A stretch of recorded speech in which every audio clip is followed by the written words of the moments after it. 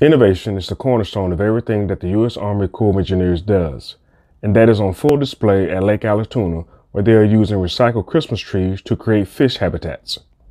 Hi, I'm uh, Chris Purvis. I'm the lead ranger with the U.S. Army Corps of Engineers at Allatoona Lake, and I'm here today to discuss our fish attractor programs here at uh, Allatoona.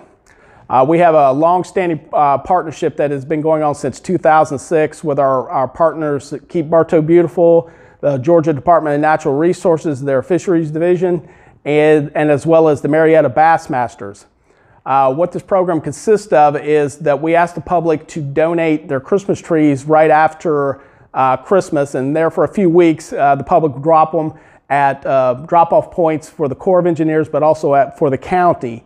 Uh, in the, what we did in the early days of this program, we had put out, we do have a 17-foot drop-off here at the lake from our winter, uh, from our summer pool level to our winter pool level. When that uh, is right at its extent at uh, 823 MSL, we will, will put these Christmas trees in what uh, we did at the beginning of the uh, program. We had put in concrete anchor points into the lake bed, and they have cables that are concreted in that we can attach these Christmas trees. So what we do each year is the Corps volunteers once all the trees have been donated, we'll pick up these trees and we'll go to a designated area to replenish at a uh, fishing jetty. And we do one or maybe two jetties each year. Just uh, we kind of go in order to make sure we're, but it's all every few years. Uh, this year it's at Victoria Day Use area.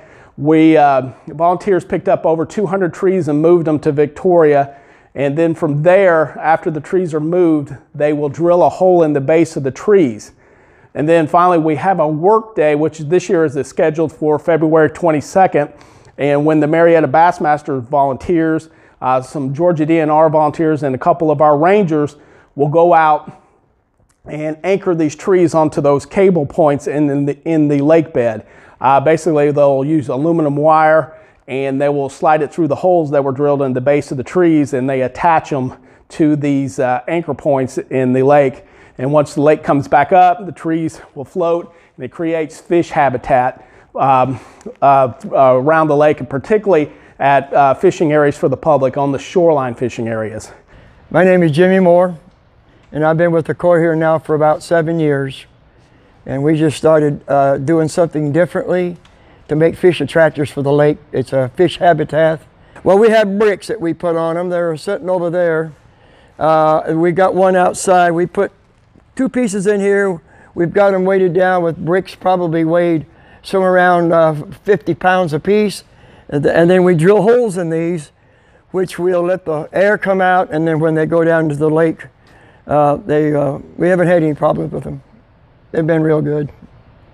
Since 2005, Allatoona Lake Rangers and volunteers, as well as their partners with the Georgia Department of Natural Resources Wildlife Division, the Marietta Bassmasters, and Keep Bartow Beautiful, and the Boy Scouts have been placing recycled Christmas trees in Allatoona Lake to not only provide habitats for the fish, but also to improve the ecosystem of the lake.